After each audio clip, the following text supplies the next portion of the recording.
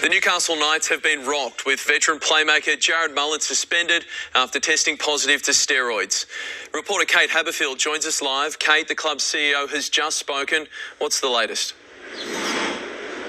Yes, Paddy, the shock news came late this afternoon. The Newcastle Knights revealing playmaker Jarrod Mullen has tested positive to an anabolic steroid.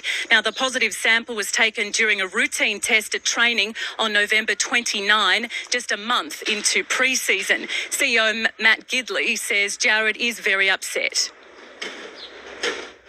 devastated. So, you know, it's important we consider Jarrod's well-being. You know, through this process, this is going to be incredibly difficult for him. So, I just made it clear that you know, whilst you know, we're extremely disappointed in in, in what's transpired here, that um, we'll continue to, to to stand behind him and, and, support him from a well-being point of view. That is, and that's what's disappointing here. I mean, we spend a lot of time educating our players um, around the risks associated with going outside the club.